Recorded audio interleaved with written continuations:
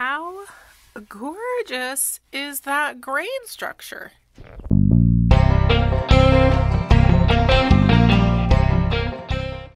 Hey everybody, Brandy here with Raise 'em Up Homestead. And look at our beautiful Kentucky day. It's been so cold at night, but it has been gorgeous during the day. And I think it got up to maybe 50 today. It's been quite nice. But I wanted to show you what I'm working on because we're always working on something around here. So I don't know if you guys remember the inside of our house, every wall had um, one by six, two by six. Hmm. No, I think these are one by six. I don't know. You can correct me if I'm wrong. And it's kind of like shiplap. Even though it wasn't shiplap, it was beautiful wood. And so we went out, bought a little tool. That's my planer. And I've been having some fun with it. So let me show you what I'm doing. Okay, so here are what the boards look like when we peel them off. They still have the wallpaper on them that comes off pretty easy. But it's like cardboard, really. Like really thin, like probably came in sheets. And then this beautiful, I am pretty sure that's hand painted um, wallpaper. I'm trying to save some of this because I want to use it in something. Then I have tried everything in the past in other homes to get it off and the best solution is just good old water. So I've been filling my weed burner, or not my weed burner, my weed sprayer up with water. And then I just come over here and I'm out of water, but you get the point. Spray it down and I soak it so that it gets wet like that. Because I'll show you on this board that I'm working on, ignore the mess underneath. It then just comes right off. So it's a little trick if you are restoring an old house to try and get this stuff off is to just use after I'm done with this, it's gonna look like this. Well, not this one. Uh, I'm going through and making sure there are no nails in it, like Here's a nail I need to get out real quick. And then I put it in the planer.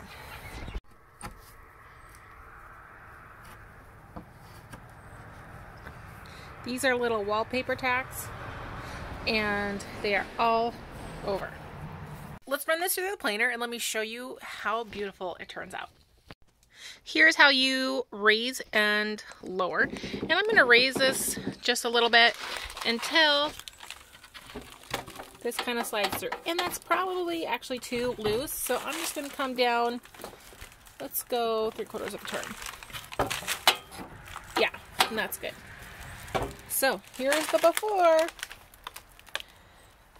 Let's see what it looks like after.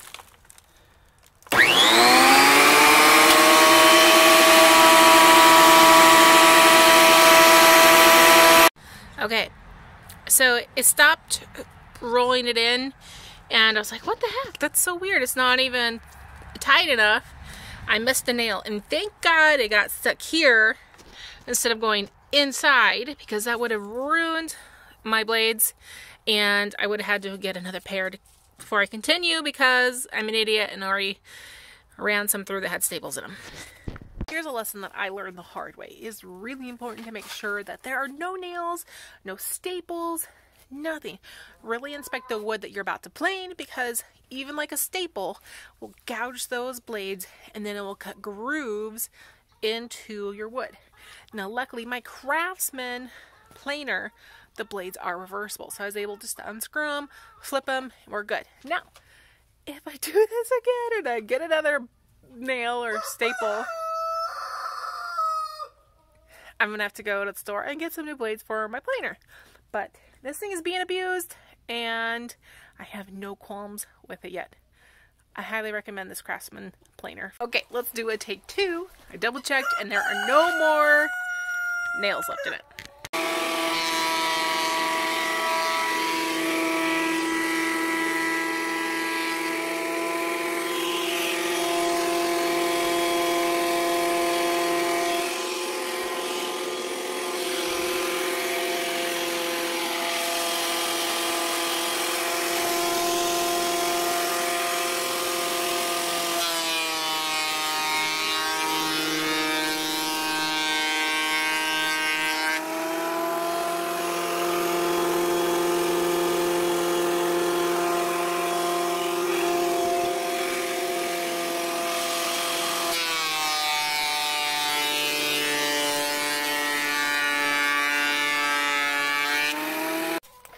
Now this piece is really interesting because it has all this termite damage in it and I might run it through once or twice more to see if it either clears up but I kind of like the termite look. But like here is a piece of poplar maybe. That's just beautiful. All this wood is turning out gorgeous. Here's another piece I just did. I mean, look at that grain. So our plan with this is to use it as hardwood floors inside the house. So I think we're gonna glue them down, nail them in, and then maybe do a resin float on top or some kind of sealant. But I really want all the character of the nail holes and the knots and the grain structures. And it's just gonna look so pretty inside. And I'm hoping that I have enough from our house, but we luckily have um, a friend who's tearing down another old house and I know it has one by six in it. So we're gonna steal some of that. Who knows? It's gonna be so beautiful because I think we have poplar, oak, maple, maybe cedar. I don't I don't know. And I know we have some fir in here too. So we're going to have all kinds of native wood for our floor in the house. It's going to be so pretty. So stay tuned in six months maybe when we finish that project um, so we can see what it looks like. Okay guys, so we took all the shavings from today and we're to give them to the quails because they're obsessed with these shavings. Let me show you. Okay. Okay, spread them out.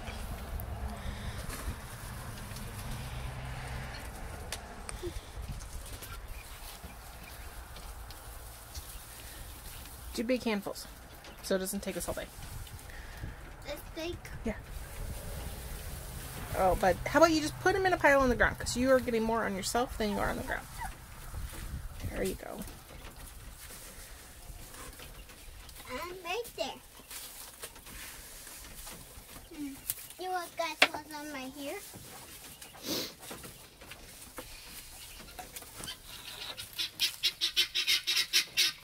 I know my area right there. Okay, keep going. And mom, some of these guys wait, wait right here. Okay. Yeah, looks like she's over there enjoying that little pile. Hmm. Okay, keep going. Oh, let's come back to this pile. Okay. You could put some under the their little nesting area. They probably really like it in there. Oh, this is over here.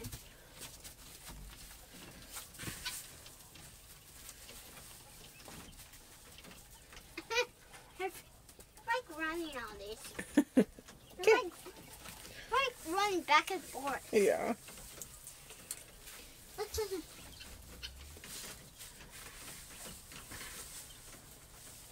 Uh, no, still like going over here too.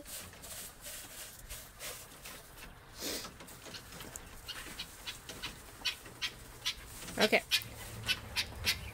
Let's put this in right baggy. Yeah. See, they love it. I really love it.